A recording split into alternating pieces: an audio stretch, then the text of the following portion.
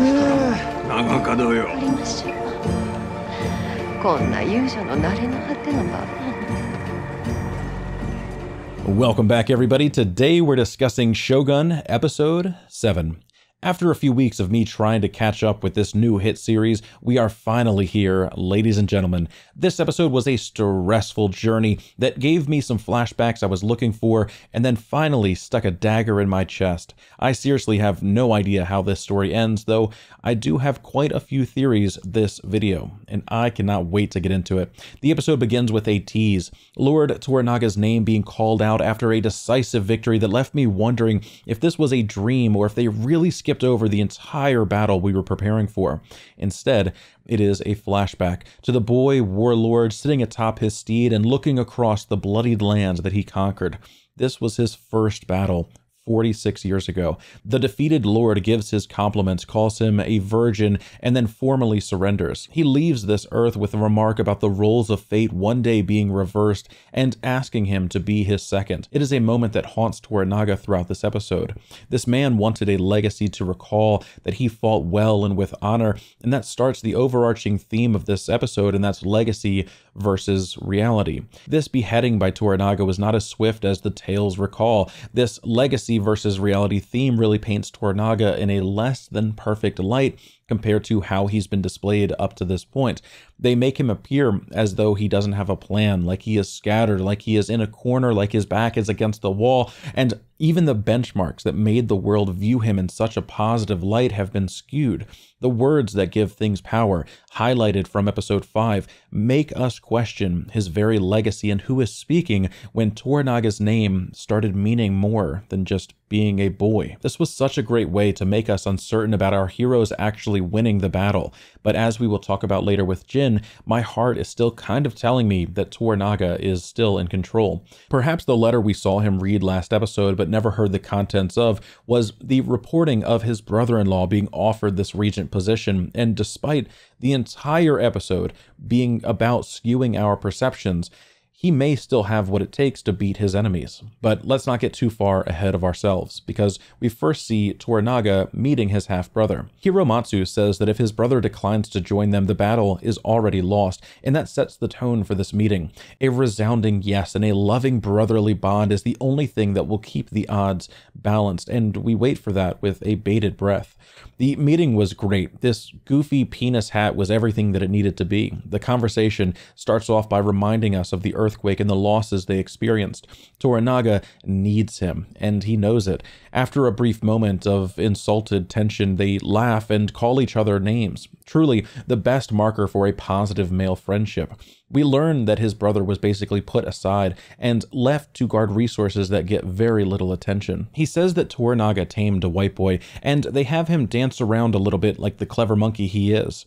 John minds his manners in these moments and even speaks some decent Japanese before leaving, and Toranaga explains that John's cannon tactics are crucial to their cause. Now that I am all caught up, I hope you are ready for some theories. Most will be wrong, few will feel like I cheated and wrote the show myself, but all of them are just sharing my thoughts and like we're buddies standing around the water cooler. My thoughts on how things could be, on how scenes would be cool, all of those things. And with that unnecessary disclaimer out of the way, here is point number one on why Toranaga is actually still in control. And it starts with this single line here. He tells Saeki directly about his mission, about the thing that gives them the advantage, the crucial thing to the operation.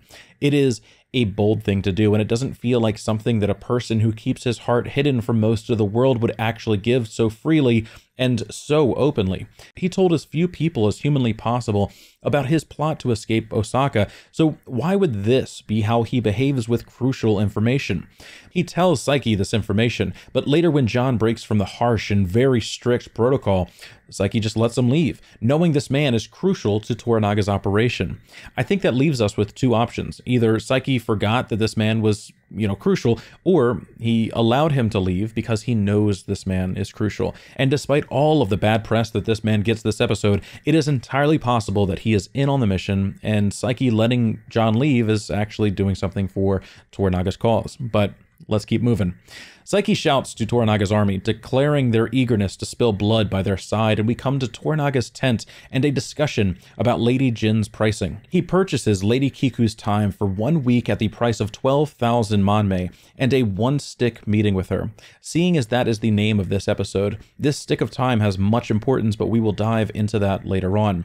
They call John in so he could be reminded to be on his best behavior, insisting that he wears his swords and not his pistol. On the second watch, with the theories of this all being Toranaga's plan still on the table, it seems like this could be hinting that he knew about the unruly and shocking moments to come and did not want John shooting Saeki in the head before the plan could come to fruition. At least if he has swords, like, you know, he, he's probably not going to be good with them, right?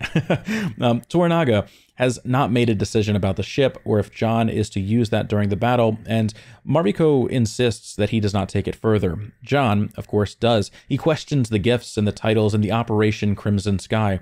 Again, Toranaga is dismissive. John says that he is ready for whatever fate may bring, and they part ways. We hear the greatest voice of all time talking to Omi and basically telling him to stop simping. He is essentially in a parasocial relationship and did not know it. The lines from before where Kiku was like imagining a life if he had more power now we know that those were just pillow talk, doing what she's paid to do for the people that often reach for things that they will never have and Omi learns that Lady Kiku will not be available for one week. I talked about this in my last review, but Toranaga may be doing this purposefully to get back at him for what he did to Nagakado, and I think that that is still where my heart is, but I don't really know. I don't know I don't know. It, it, could also be like on the surface, Lady Kiku is just the number one hoe, and gifting your allies the number one hoe, that's just proper manners, you know? Lady Jin lets some information slip, and that is that John's mind was on somebody else last night, and I think he knows right away that that was Mariko.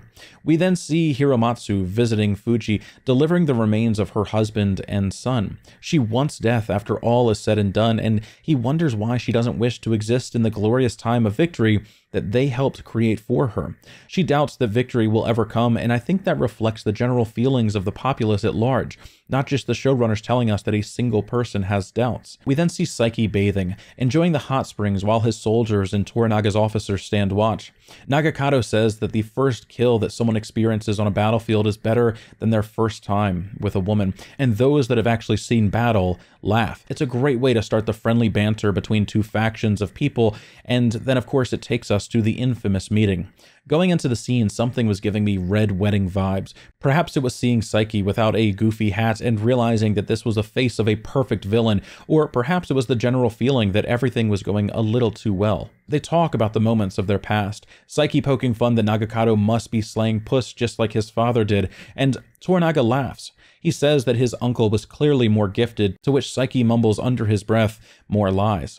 Omi stirs the pot and makes Buntaro think about the duty his wife is performing with John, just trying to be a little shit, and like he did with Nagakado, you know, push someone to action. And because Buntaro doesn't let those feelings get the best of him, this may come back to bite Omi in the butt now that there are multiple people that have been incited to do things, you know, at the behest of, of Omi, and yeah, it's just it's got to bite him in the butt eventually, right? um, Nagakado searches for more stories, and this is where things really start taking a turn for the worst. They say that Toranaga took the head off of his enemy with a single swing, and as we learn later, this is just not possible for a 12 year old to do. They move on to Lady Kiku, and we see Omi fighting back demons as Saeki discusses the fun that he had with her. Saeki then wants to discuss the plan and what Toranaga intends to offer for his help, while Toranaga wants to wait until they aren't drinking anymore. He suggests all of Izu, which is Yabushige's fief, and the reason that we get this funny shot of him going, Quickly, the half brother switches to more stories of the past, using this moment to tell all of the respected people of Toranaga's world that he shit himself when he was given to a rival as a child. It is a story that did not invoke laughter, and the disrespect was felt immediately, even though he claimed he meant nothing by it. He keeps focusing on Nagakado through this moment, asking if he prefers legends and stories or the truth. And this was the moment I knew everything was about to go down. He was drinking, the stories were flowing, so it could have just been a dumb man being a dumb man, but to tell Toranaga's son directly that the legends of his father were different from reality That's quite the devilish move. And of course, that's when the scout comes running from outside, declaring that the armies are surrounding them. All of the roads have been blocked off, and all but Toranaga react in fear. Before things get bloody, Toranaga calls his dogs down, and Hiromatsu is thrown a letter from the council. It's an invitation for Toranaga to come to Osaka and accept punishment for his treachery. That Saeki was there to receive his answer and escort him back to Osaka as the new regent of the council. Saeki says who could refuse such an honor, serving the realm, and then delivers the order to commit seppuku to Nagakado. Toranaga breaks from his stoicism and demands that he doesn't accept the letter. It's interesting because I don't really know what not accepting the offer or accepting this piece of paper really does here. He's just avoiding the court summons by pretending to not see it, but seeing as how Toranaga breaks from character to demand something from his son, it makes this so tense.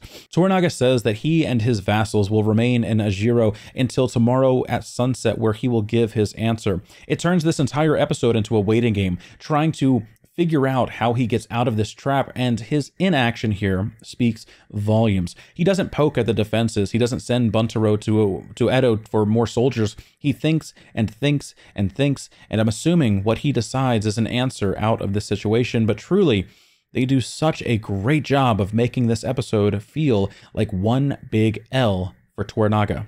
John asks Mariko about what it means for him to accept. She says that he will be marched to Osaka and then executed along with a dozen of his officers. John doesn't realize this in this moment. Well, maybe he does because, you know, they wanted to execute him before, but as a Hatamoto, he would probably be expected to take his own life as well.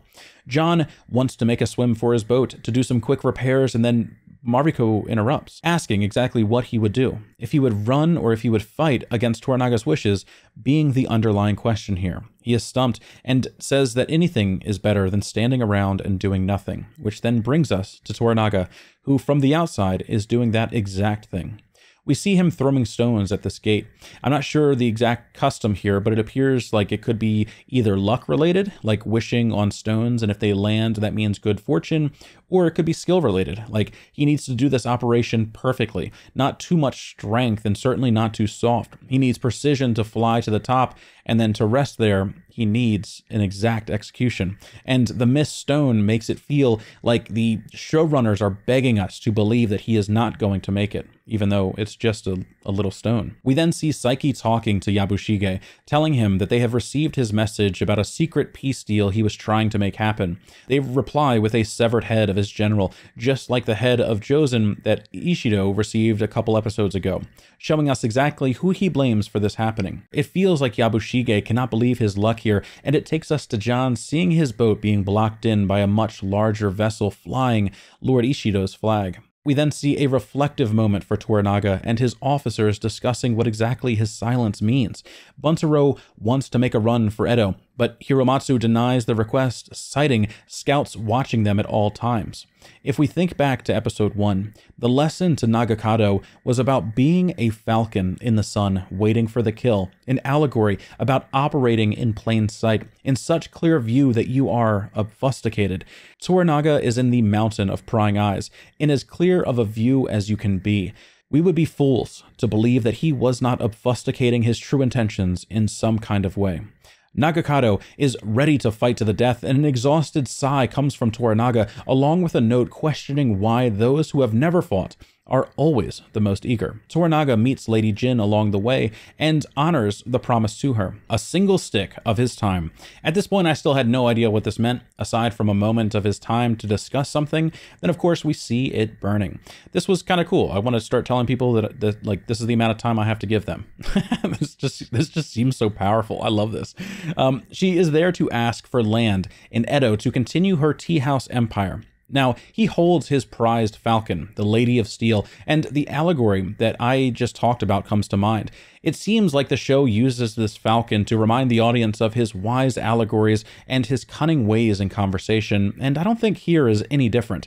Of course, my mind is still on her being the Society of Amida leader, so I'm really just waiting for that bomb to drop this entire conversation, but honestly, maybe she's not, right? I, I just, I really want to highlight that. That is what I'm thinking in these moments, but you know, that could just be my confirmation bias as I'm like going through this and reviewing these episodes. Or perhaps Maybe both of them know exactly who the other is, neither of them actually able to say anything because they live in a world that spies on each other. On the surface, she wants the Willow world under his protection. It is a gamble on a dying man in his hour of need, and I think even if the scene isn't a cryptic exchange, which I think it is, this is enough. It was a vote of confidence in him when honestly, that just wasn't happening from anybody else. But she's here to discuss a guild of courtesans and alludes to them not being in brothels, but in true tea houses. The only thing we really know about the Willow world is that it is good at getting men's rocks off and collecting information, citing Mariko saying her and John's every move was being watched last episode, and Jin even teasing Omi with information about what happened within her walls.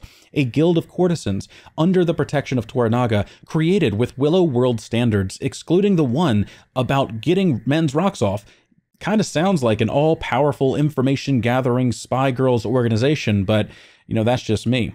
Then the conversation gets a little more real. Time's up. They talk about fate being a sword wielded by those that can use it for their benefit, about how his advisors believe that he may die in the near future, but she just does not see it like that. That her terrible childhood has led to her being the most powerful woman in Izu, just as his terrible childhood did similar. It is a bold line from the mistress of a tea house, and I think that if she is more than that, she is subtly saying as much right in this moment. She wonders why this cunning man that grew up and must operate in similarly terrible ways did not see the army closing around him, that any spy could tell him it was coming, maybe even including hers. I think at the very least, she's saying that she knows that he has spies, and perhaps that information slipped from Lady Kiku after getting close to Omi at the start of the series. Maybe that's why Omi and Kiku's relationship is so important. It is to show us that from the very beginning, there has been these spies collecting information and that is the true power that's happening behind the scenes. She wants to know why he let himself get captured here and it's so cryptic because the showrunners are trying to make us forget that toranaga is that dude I think he let himself get captured and maybe even has his half brother in on the plan because this is how they are going to deploy Operation Crimson Sky. They are about to openly and freely march to the capital, face to face with the other regions, and I can only hope the battle starts with John on his boat firing shots from across the city. She then brings up the mistakes that he made in this position, and he denies any of this being his will. She smiles and apologizes, saying, What does she know? She's just an old whore. And I swear to God, if she isn't the leader of a spy organization, just put a fork in me. This line is too perfect. It's too good. Like with all the things that we know Oh god, it, it must be her. She's it's got to be her. She's just too good. It's too good. I love her. I don't know. She then leaves and we come to an intense meeting at the hot springs. Yabushige strips down damn near naked in front of them to show a lack of fear. He isn't bothered if they want to watch his weenie get bathed. They also show us Omi and Nagakado bathing together. They question if his father has a plan, and Nagakado demands that he must, that surrendering isn't possible. Omi then brings up his old life being so peaceful compared to what it is now, and still cursing the moment that he pissed on that barbarian. Nagakado calls his opponents spineless pigs, still wrapped in a conversation with the man that manipulated him to killing Jozen, having absolutely no idea, and then allowing the entire conversation to be heard by Saeki. He comes out of the cave, his men close behind, and I truly thought we were about to see these men be murdered in this pool. Instead, his uncle talks shit, and on rewatch, he kind of gives Nagakado some real advice here. Once again, echoing what his father said about not wanting to go into battle, and that death is nothing to honor like he does. Basically saying, don't go getting yourself killed before you've even had a chance to live.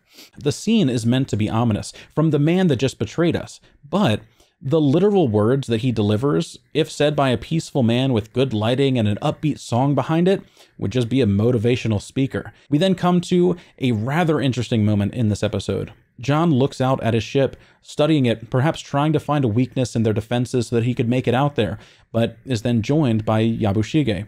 It's almost like they're peers, and this sword fight with Yabushige was it felt like he was truly trying to do something, um, you know, for John, while also trying to be a piece of shit and like, you know, poke fun at the man who kind of like seemingly ruined his life. And Buntaro watches and waits behind this tree, jumping into action the moment John is on his back and he can cut his throat. He doesn't. of course. He shows restraint that he probably wishes that he didn't have. And we come to Fuji practicing the Naginata, Nagi Naginata, practicing with the Naginata. If that is how that is said, commenters, please let me know. Also, commenters, thank you for naming the weapon last review. Appreciate that. Nagakado and Fuji talk. I really enjoyed this interaction. He has such an honorable view of death and wishes that he was the man who gave his life to say a single thing to someone disrespecting his father.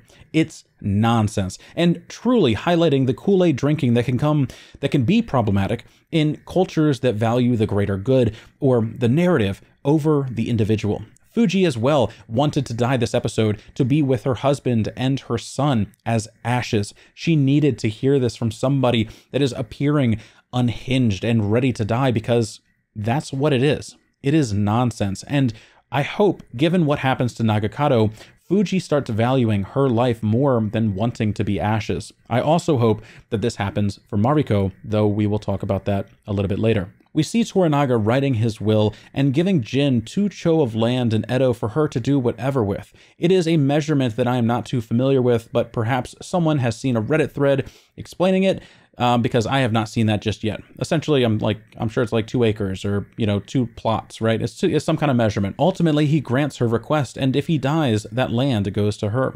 Which then brings us to Mariko and Buntaro. He asks that he be allowed to kill John, and accuses he and his wife of cheating it is drama that Toranaga doesn't care to discuss, nor does Mariko want this being so loosely thrown about either. But when Toranaga takes a direct approach and says that to kill John for this, he would also have to kill his wife, she kindly accepts whatever fate as property her husband wishes to hand down. Of course, we know that she wants to die. Her remark is as cold as she has ever been, and it seems like it breaks Buntaro. He wants to be in love with this woman, but hearing that she doesn't even want to voice an opinion about her own life with him and would accept death without a fight, he's fighting back tears. His heart is broken. He doesn't know what to do. I mean, he's a piece of shit, but like, if you're dude, again, like, there's some part of me that does feel for him, you know, there, like it's Jaime Lannister all over again. Fuck, this is such a good show. Toranaga isn't having it, and after Buntaro leaves with an answer he didn't want, Mariko gets a lecture about her priorities yet again. He asks if she is with him in a fight against her father's enemies or if she wants to be with the barbarian. After hearing this question, she doesn't answer. She breaks, affirming the loyalty that she has and the service that she has provided, but begging for death just the same. She wants to be freed from a cursed life, and Toranaga smacks the knife from her hand. It is an insult to the Lord that is facing death himself and his servants requesting to die and, you know, say that the life that he provides to them is cursed is not a vote of confidence right now. Which then brings us to the meeting. Toranaga sits in front of his flags, having flashbacks to the enemy he defeated all of those years ago, sitting in front of his flags. Toranaga talks to Hiromatsu about his first execution, revealing that it was not a single swift strike that ended the life, but nine, and it was sloppy and messy, painful, and made his death terrible. They laughed, and then in comes the rest of Toranaga's men. Each bow and take their seat beside him, and wait for the plan that their leader has created until Saeki, who hears it at the exact same time that they do, enters and they gasp as he surrenders. Both Yabushige and Nagakado stand to voice their opinions, and he denies them. They are to remain silent and accept this utter defeat. He says that when there is evil in this land, nobody has the right to tear the realm apart. It is a line meant to explain that he wishes to follow the rules above all else, for the honor, for the order, for the peace, and ultimately to go peaceful into that dark night but I really don't think that that is how Toranaga is going to operate here. Like I said before, I don't believe it. I think it is all a ruse, and Toranaga is prepping for a fight even when it seems like all is lost. Part of me does wonder if he truly dies, though. If this isn't the original Ned Stark moment, and he truly dies before he can stop the insidious plot that works against him and his country. John then stands up, calls out Yabushige Nagakado before chuckling and walking toward the exit. He mocks Toranaga, and while the words may not be clear to everybody, it was obvious that he was upset with Toranaga. In Japanese, he says that they are all dead, and then he storms off. Now, right away, my first thought was, why doesn't anybody stop him from leaving? And truly, part of me is still unclear about that. But if Saeki is on like the Crimson plot plan, after hearing that this barbarian was their secret weapon, again, he may simply be letting him go. He is either underestimated here and not a threat entirely because everything is still surrounded, or they know that he needs to be with his men and his ship and perhaps there is a plot to reunite them going on in the background. We then see Saeki having some rainy clouds with Lady Kiku. The tie around his neck made me think that any second we were about to see the secret assassin in her break out and start murdering him. But it doesn't. It felt like they knew, like the showrunners knew that we were looking for this based on how everything was shot. Perhaps they aren't the Society of Amida and simply the information gatherers, or simply they're ladies of the night, and I am mistaken. All in all, I loved the scene though. She says that she has tools to elevate their play, and I 100%, 1000% thought she was going to kill him when she got back. I don't know if she was just lucky or if she knew that they were coming, but it was fortunate that she was not there when, you know, everything went to chaos. I listened to the scene a few times for some kind of call or whistle, but nothing seems to have alerted her. She just leaves for some anal beads and then Nagakado comes in with the poker. Saeki makes a run for it, even in this moment, not trying to hurt his nephew but save his own life. And then the unexpected happens. Nagakado slips and cracks his skull open and bleeds out in the Willow World Tea House pool. It was brutal, and if this was on somebody's bingo card, you know, congrats. You either like are a fortune teller or read the book. um, this was such a shocking reveal, and I hated how long we had to watch this happen. This was I mean, heartbreaking, disgusting. This was the death that he idolized. But with that, we come to the end of the episode. This, oh my gosh, this was such a shocking end to an incredible episode, and I cannot wait to see how Toranaga responds next week. I love this possible new villain. This dude is a perfect bad guy actor, and I want to see him just obliterated if he truly does harbor some malintent to my, you know, my lord and savior Toranaga-sama. I think that Toranaga is still in control, despite the show's haunting attempt to like show that he isn't, and our heroes like I do think they will prevail in the bitter end, but it's not going to be clean. It is definitely going to be messy, and I cannot wait to see it happen. Thank you to everybody that stayed this long. Please be sure to leave a like, comment your favorite part of the episode, and subscribe for more content just like this. Much love, everybody, and I cannot wait to talk to you all again soon.